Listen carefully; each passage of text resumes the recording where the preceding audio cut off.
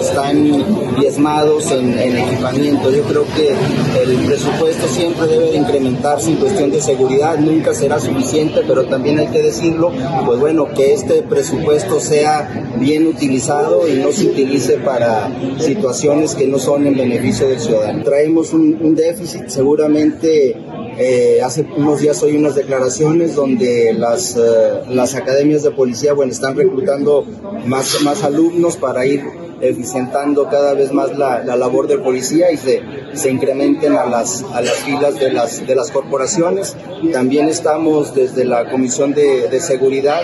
viendo porque se les eh, otorgue un, un retiro digno a todos aquellos elementos que ya no están en condiciones ahora sí que de entrar a la guerra hablando coloquialmente, y bueno, llevamos avances en esa situación.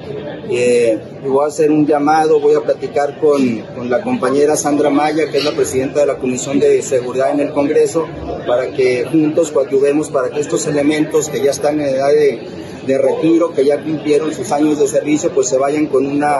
con una cantidad suficiente de dinero para que vivan a gusto el resto de su vida. Definitivamente no, no es suficiente, no sé el monto exacto, pero lo que sí sé es que no es suficiente y bueno, para